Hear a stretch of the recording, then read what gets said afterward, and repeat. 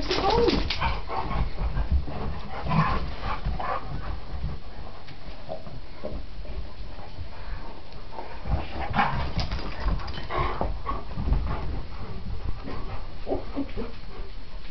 Which, you got a bone too?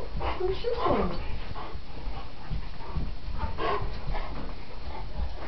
There's a lot of interesting things about uh, Alexander Graham Bell. Uh, What?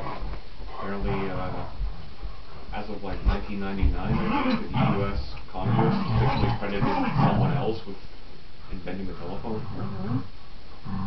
Uh, back when he and someone else, I think his name is Tesla, were like campaigning to promote their different types of power, AC and DC. Uh, I think it was Alexander Graham Bell used to hire to go and like people's pets off the street and he would like basically them show anyone in the press his stomach. This is why power is better than his power because Nice, I never heard that before. I also read that Bell also made something out of a human ear.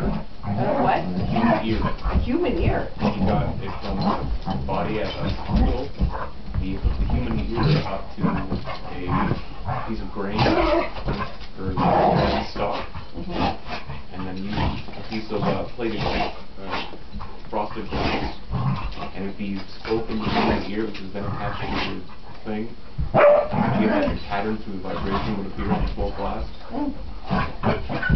So he went a little deeper with the ear. He took like the membrane and stuff. Oh, nice.